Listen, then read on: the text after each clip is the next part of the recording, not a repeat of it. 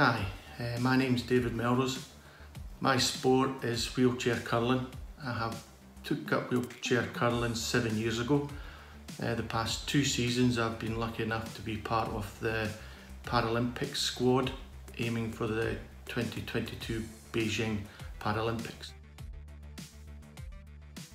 My accident was in 2010. Uh, I'm a paraplegic T8 complete. Prior to my accident, uh, I was a very keen sportsman. After my accident, I was more con concentrating on just living with my disability, coming to terms with my disability, everything was going along fine. And then I suddenly thought that there was, something was just missing. That, there wasn't, there was just something missing within my life. Fortunately, somebody asked me if I fancied trying wheelchair curling. Went along, tried it, found it absolutely loved it. Uh, fortunate enough to be part of a, a team which accepted me for for who I was, to just be part of the team. The people that supported me the most as will be my family. Since my accident, they've, they've always been there. It, that's what my focus was after the accident was to get back to being being a dad, being part of a family again. Uh, when you spend a long time in hospital, it, it, it, it's good to have a focus. Uh, and they supported me when I came out. They've, they've learned to live with my disability as much as I've learned to live with my disability.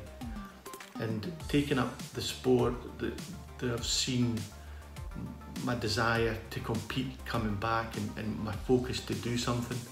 And after the, the Worlds last year, I'll always remember that my daughter went up to my coach and thanked her because she had gotten her dad back. That's how much an impact sport and focus can have on individual lives. Since lockdown, uh, we have technically like a, you would say an off season from basically end of March to the beginning of August. But being part of the Paralympic squad, we have set goals and targets we have to reach each week and keep our level of fitness up. And we have programs that keep us busy during the week. We we have to do two two CV sessions, which could be an hour each, and it has to be strong cardiovascular stuff for stamina. We need to do two sessions within the gym, or as it is with lockdown, whatever you can do in relation to gym work, which is like strength and conditioning. We have a learning session, so we're asked to kind of listen to uh, pods, read uh, podcasts, read a book, something that uh, mentally stimulates you or, or can help you deal and focus, watch a game, basically try and learn about our opponents, how they like to play, how could we play against them, how do we get that edge to win within games. Since the lockdown, our coaches have found Microsoft Team. So every week we'll have uh, an hour session or two hour sessions with one of the strength and conditioning coaches. Uh, so we'll be have bands and we'll doing exercises or we'll be having a two hour meeting with uh, Sheila, our coach, who will go through the latest updates and how we're doing and, and basically just keeping in contact in relation to as teammates still being able to see each other as we live all over the Scotland and also our coach keeps us up to date to exact what's going on within British curling and, and the, the coronavirus. Sir Steve Redgrave.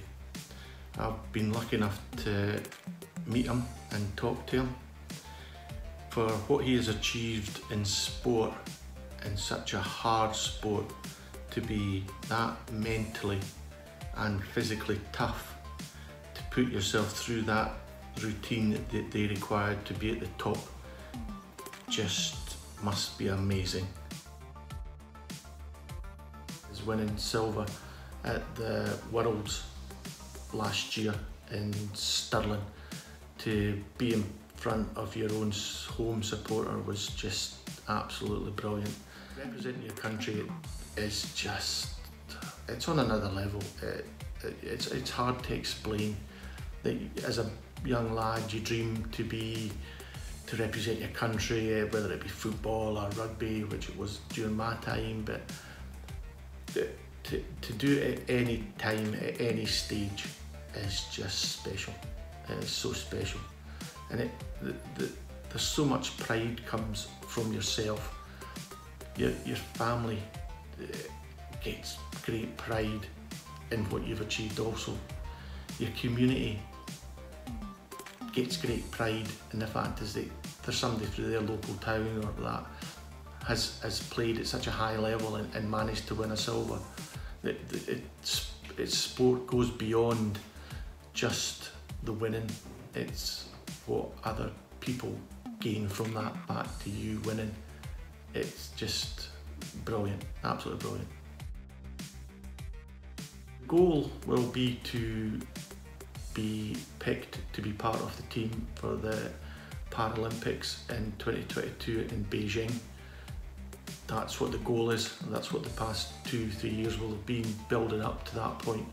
Ultimate goal, which is probably a bit pie sky, but what I would love to do is to win a gold medal at the Paralympics.